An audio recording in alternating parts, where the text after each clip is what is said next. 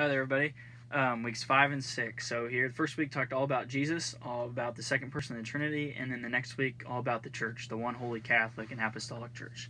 Um, so we began discussing Jesus. You know, we went through his whole life. We start with the incarnation, and this is where the Trinity takes on the human form, and we have the concept of the hypostatic union, and this is where we have Jesus Christ. You know, 100% God, 100% man, but in one body, one human form.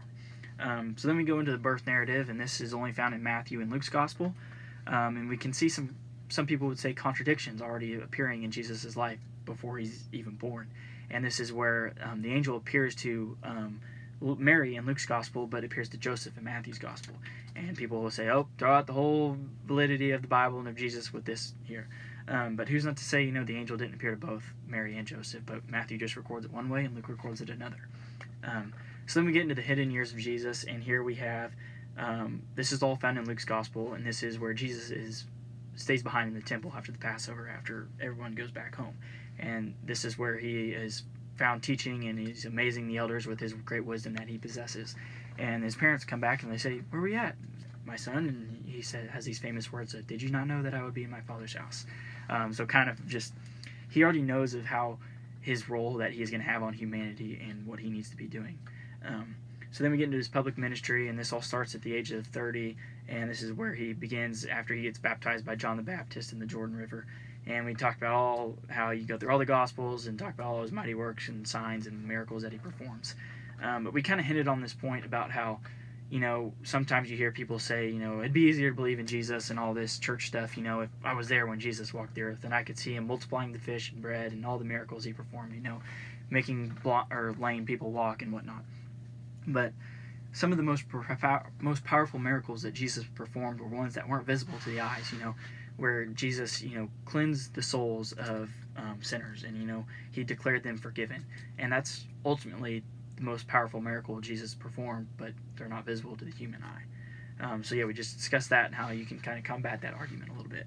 Um, then we talked about the crucifixion, death, and resurrection. And the coolest point I got a thought, or coolest thing I brought out of this was how Jesus was on the cross from 12 in the afternoon to 3 in the afternoon, and how 12 and 3, there you know, there's those are key vital numbers in the um, Bible. You have 12, you got the 12 apostles, then you have the 12 nations of Israel, and 3, you got the concept of the Trinity, you know, Father, Son, Holy Spirit, and you got, I mean, there's just countless examples. You know, P- Jesus or Peter denies Jesus three times, and you just go on and on and on. Um, but I just thought that was interesting, something I wasn't aware of. So then the next week we went and discussed the church, you know, the one holy Catholic and Apostolic Church. And this is probably one of the most, or one of the biggest things that um, kind of persuaded me or brought me into the Catholic Church was the concept of Jesus Christ founding the Catholic Church and how this isn't something that is hidden. You know, you gotta you don't gotta read 10, 10 books to find this. Um, it's pretty blatantly obvious. You just search who's the founder of the Catholic Church on the internet and it pops up Jesus Christ.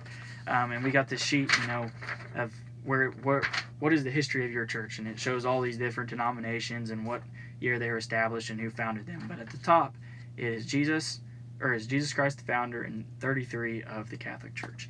And you know i was posed this question a couple years ago you know what's the history of your church?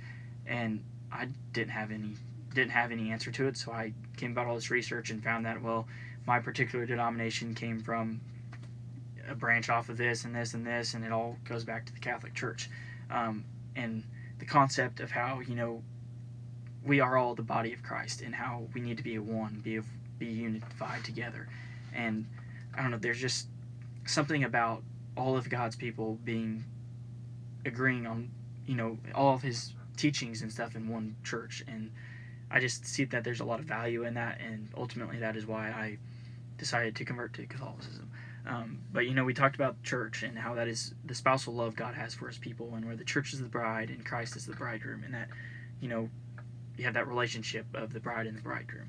Um, so we went through and talked a lot about the church. We talked about the apostolic succession and Peter and the role of the Pope and stuff. Um, and ultimately, we discussed how you know we have the church, or we have so many things in Christianity because of the church, and we have like you know the New Testament. We have the concept of the Holy Trinity.